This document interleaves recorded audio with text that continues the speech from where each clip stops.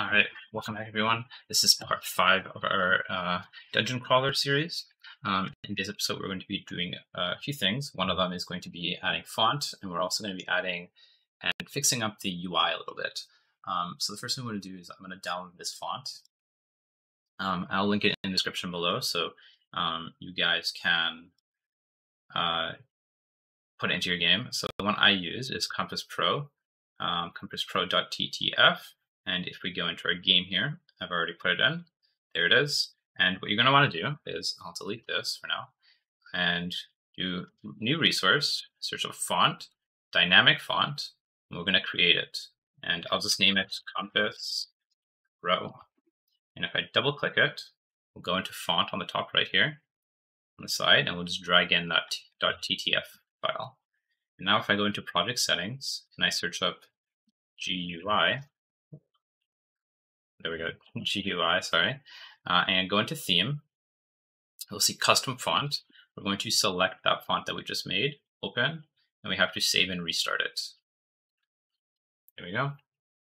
All right, and now um, what we're going to do is we're going to create a UI. So to do that, what I like to use is the canvas layer. So this essentially allows us to draw anything on top of our layer. I'll capitalize it, so UI, and I'll save it into our main scene. And then I'm just going to drag it into our world. So that way I don't have to go back and do that later. And now what I'm going to do is I'm going to add a panel.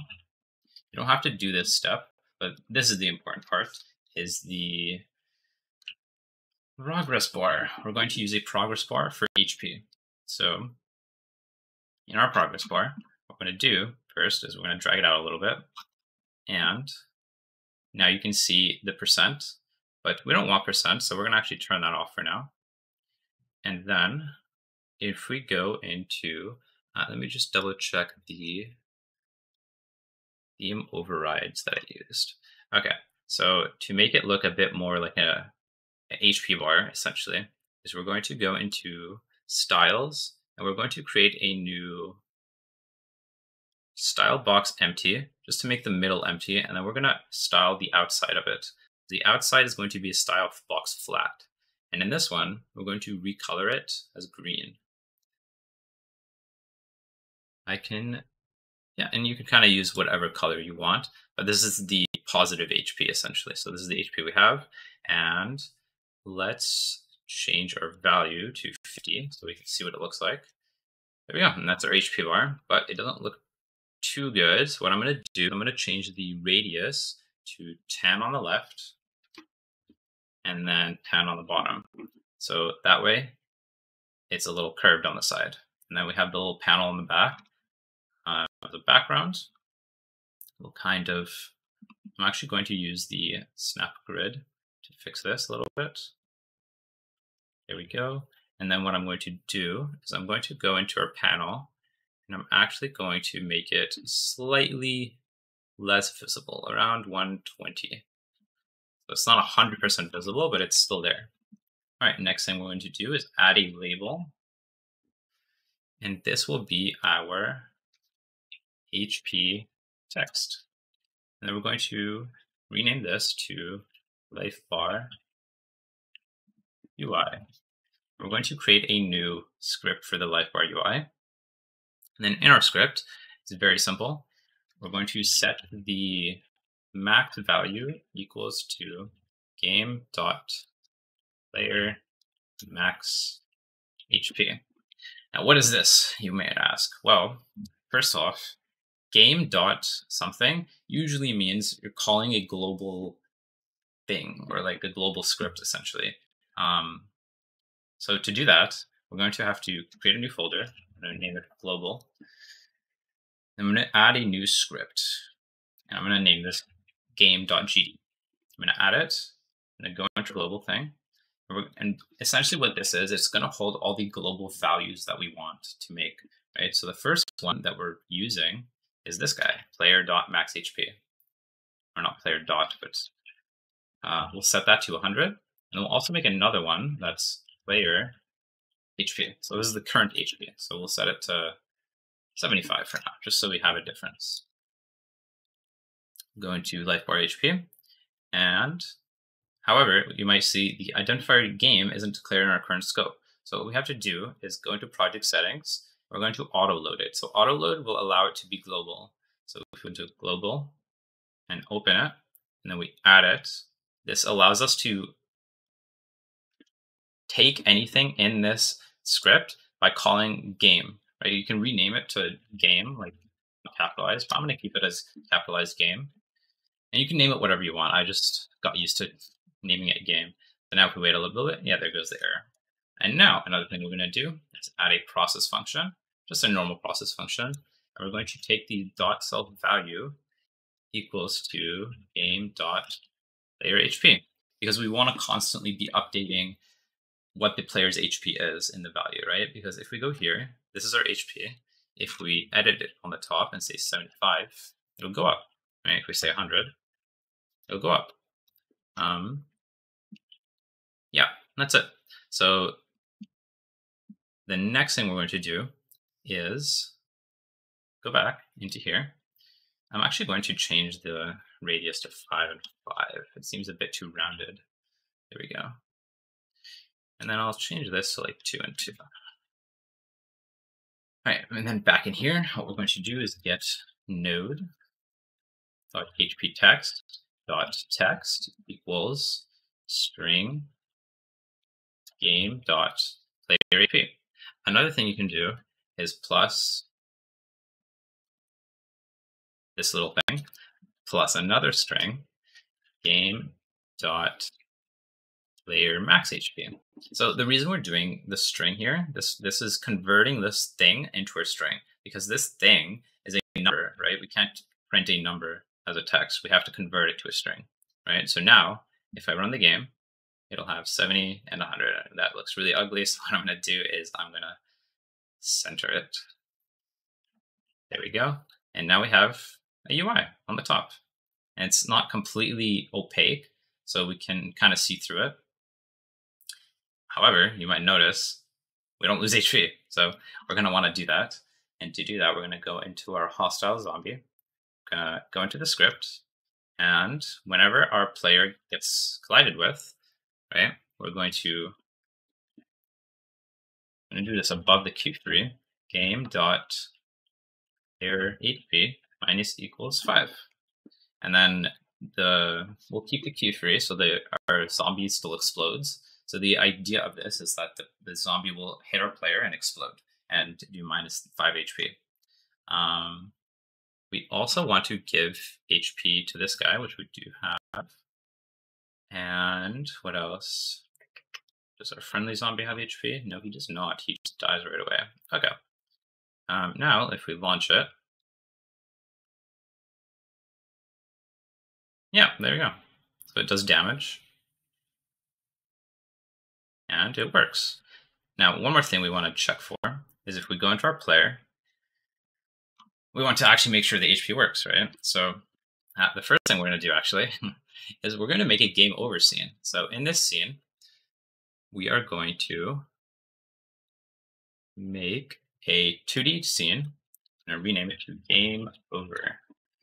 And then I'm going to save it in the main scene. That's okay. I'm going to add a panel. I'm going to extend it all the way. Doesn't have to be accurate, that's fine.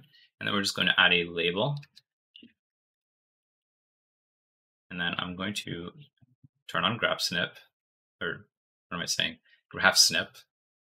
And I'm going to type in game over try again, laser. And then I'm going to center it in both. And then I'm going to add a button in the middle that will say restart. And this will be our restart button. And then I'm going to add a game over script. And I'm going to connect our restart node to press, connect it. And whenever I do restart, we're going to do get tree dot um, change scene to world. So we're going to go back to world and it's going to essentially reset the world. Well, it resets every time. So Um, now we go back to our world. Or no, sorry, we go back to our player. And what happens if we die is, I'm going to have to check for that first. If player HP is minus or equal to zero, then we're going to get tree dot change scene. Go to the game over scene. Now if we launch it, uh, let me just change this to five, so that way I don't have to wait forever. Now when I die, game over. Here we go.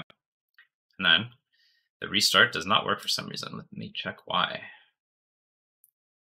What's going on here? Change scene.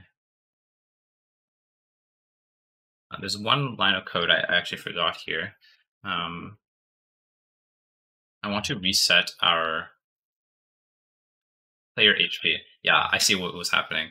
Um, so the reason why the button wasn't working, it was working, but what was happening is it would go back to the world, but the player HP was still zero, so it would go back to the game over. It was almost instant, so you didn't notice it. So if we try it again, game over. Try again, loser. All right, there we go. Um, one last thing before we end the video is we're going to play with the collision. And to do this, I'm going to go into our hostile zombie and I'm going to select layer 2 and mask 2. So yeah, and then in our player, no, not our player, we're going to keep our player on 1 1. And then in our friendly mob, our zombie here, we're going to go into collision and we're going to select 2 2 and take off 1 1. So what this means is it's going to collide with the hostile zombie, but not the player, because the player is only on layer 1 and 1. But the zombie can, the hostile zombie can collide with both of them because it's on two, it's on both, right? So now if I launch it, oh, ooh, that's interesting. What's going on? Let me try one more time. Let me just double check I did this right.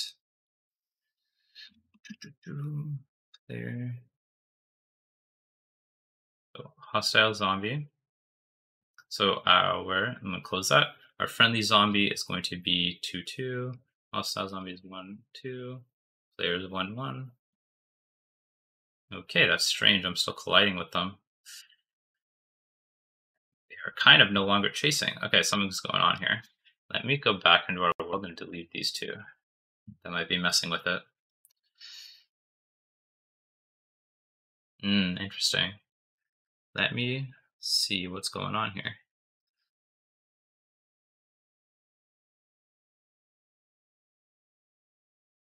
Again, loser. Interesting. And I still collide with them. And they still collide with it. Something's going on here. Okay, let me double check one more time. Collision, collision, hostile collision, mask. Okay. What am I doing wrong? Let me double check. Let me double check my reference. See, this is my reference here. You can kind of see it. And for some reason, it works here. And I don't collide with the with my own monsters. So that's kind of strange. Let me double check the code for the world. Could be doing something wrong there.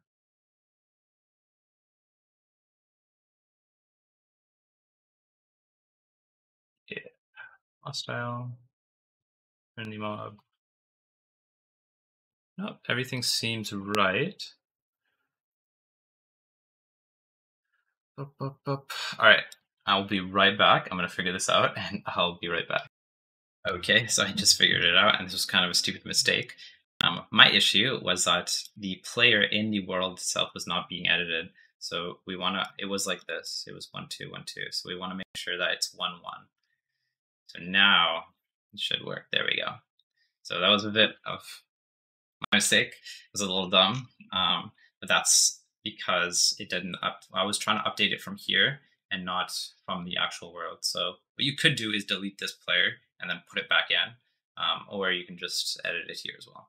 Um, so yeah, that's it. So the collision now works. Um, now I can run through my own enemies and I do and I do collide with the other zombies, and our zombies collide with the enemy zombies. So I can hit them and I die. Awesome. Um, one other thing I kind of changed that you might not have noticed is the collision is slightly different here. Um, I made it just around it. Um, and then I'm actually going to change this into a rectangle. And I'm going to make it slightly smaller, obviously. I'm going to put it right in there. I'm going to move that on top of it. I'm going to make that that big. So now this is kind of what I found works for the knockback. Um, the knockback was a bit strange. So sometimes it worked, sometimes it didn't. Um, but this is what I found is most consistent with all directions. As you can see, like the, the bottom left might not work perfectly. So you can kind of play around with this. Um, make it slightly smaller on this side, maybe.